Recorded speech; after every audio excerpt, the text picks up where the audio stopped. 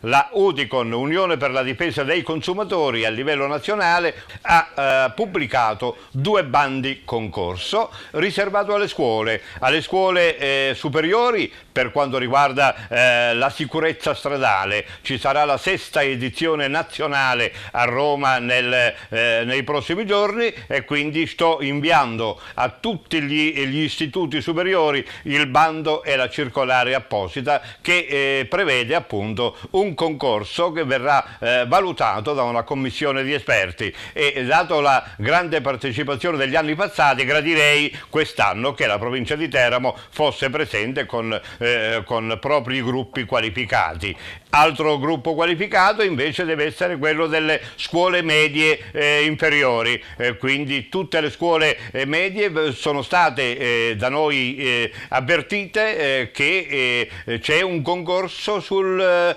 fenomeno del bullismo e quindi anche qui c'è da realizzare un'opera scuola ehm, a cura delle scuole che vorranno partecipare e presentarle alla nostra sede di riferimento per inviarla alla sede centrale nei termini e nei tempi previsti dal bando che eh, tutti i dirigenti scolastici nella giornata di oggi andranno a ricevere.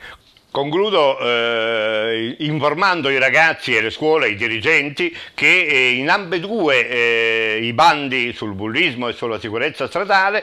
dovranno essere realizzati dei fumetti appositi che verranno messi a concorso e quindi il vincitore o il gruppo eh, che vince eh, porterà a casa un discreto premio